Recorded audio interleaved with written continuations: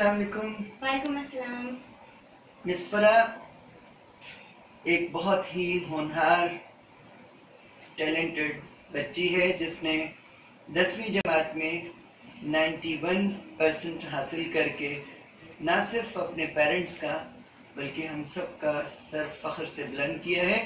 इस कारनामे पर मैं इनको मुबारकबाद पेश करता हूँ। थैंक यू सो मच मुस्फरा कैसा महसूस कर रही हैं आप? मैं बहुत ज़्यादा खुशी फील कर रही हूँ। फाइनली मेरी इतनी मेहनत का नतीजा अब मुझे मिल गया है और मैं अपनी सारी अचीवमेंट अपने पेरेंट्स को डेडिकेट करना चाहूँगी। इसमें सबसे बड़ा हाथ उन लोगों का है। इस कामयाबी के सफ़र में किन मुश्किलात का सामना आपको करना पड़ा? बहुत सी मुश्किलात का सामना करना पड़ा।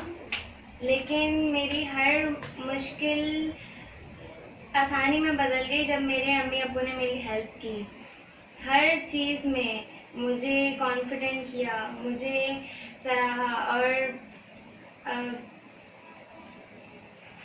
in spite of blindness blind होने के बावजूद किसी किस्म की कोई कमी तो नहीं रह गई आपकी एजुकेशन को फैसिलिटेट करने में? नहीं नहीं बिल्कुल भी नहीं। ये एक बहुत बड़ी अचीवमेंट है कि दोनों mother and father they both are visually challenged लेकिन कभी भी उन्होंने इस बच्ची के तालीम के सिलसिले में इस चीज़ को आगे नहीं आने दिया। तो स्टडी करती थी तो कोई फाइनेंशियल या किसी किस्म की कोई प्रॉब्लम कभी नहीं आपको पेश आई? मेरे पेरेंट्स को पेश आई होगी लेकिन उन्होंने कभी मुझे एहसास नहीं होने दिया। उन्होंने खामोशी से मेरी हर नीड पूरी की खुद तकलीफ़ में रहे लेकिन मुझे सुकून दिया। Okay okay. दूसरे तालब इलमों को जिनकी इतनी अच्छी परसेंटेज नहीं आई। या बहुत से तालब इल्म जो फेल भी हुए हैं।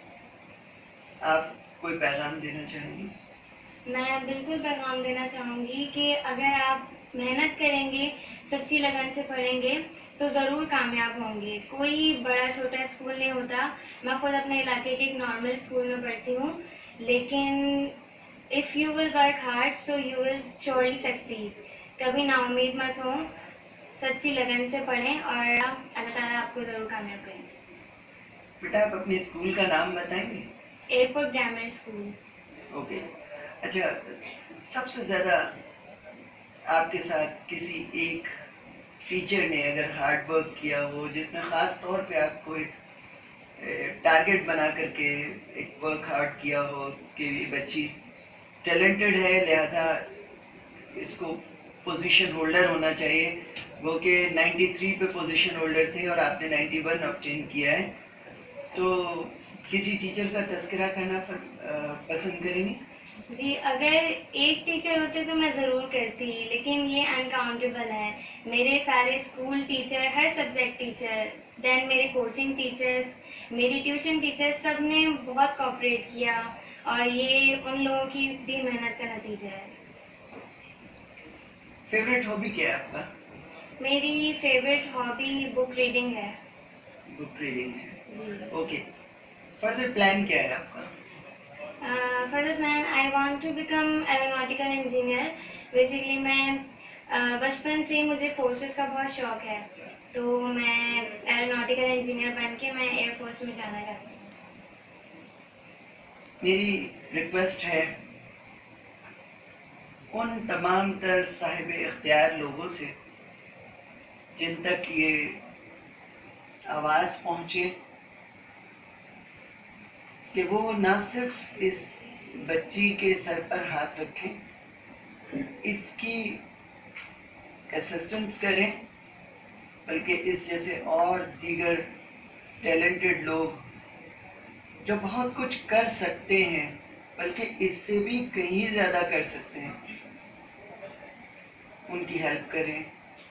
और यकीनन ये बच्ची किसी स्कॉलरशिप की, किसी इंसेंटिव की और किसी, बल्कि हर उस हेल्प की को डिजर्व करती है, जिससे इसका हुनर, इसका टैलेंट मज़ीद निखार निखार पा सके। तो बहुत शुक्रिया। आपका शुक्रिया अदा कर रहा हूँ मैं। लेकिन मैं मुझे ये अच्छा नहीं लग रहा कि इस खुशी के मौके पर मैं इनकी मदर के कमेंट्स दो जुमलों में, तीन जुमलों में ना लूँ। तो मिसेस फयाज आप कैसा महसूस करिए अपनी इस बच्ची के एक बहुत बड़े कारनामे पर? बच्ची शुरू से ही रही है टैलेंटेड है शुरू से रुझान पढ़ाई की तरफ़ था। और ये हर काम में माशाल्लाह बहुत परफेक्ट है। ये गेम्स भी खेलती हैं घर के कामकाज भी करती हैं और वक्त पे पढ़ना वक्त पे हर काम करना। फख्र महसूस हो रहा है अपनी इस बच्ची पर? जी माशाल्लाह। अल्लाह ताला आपको भी इसको मज़ीद बेहतर से बेहतर तालीम याफ्ता बनाने में मदद करे और इस बच्ची को भी दिन दोगनी रात चौगनी। तरक्की अता फरमाए। इसके बाद यहाँ पे चूँकि उनके भाई भी मौजूद हैं तो मैं उनके भी कमेंट्स लेना चाहूँगा कि आप अपनी इस बहन के अचीवमेंट पर कैसा महसूस कर रहे हैं?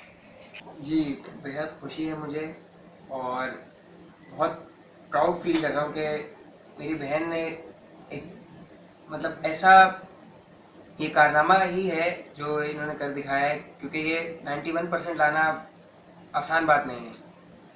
और मेरी खुद परसेंट इतनी बहुत ही किसी के मुकाबले में कम आई थी कि मैं बता नहीं सकता, लेकिन मैं बहुत बहुत खुश हूँ, बहुत प्राउड फील करता हूँ। So nice of you. Good luck, all of you.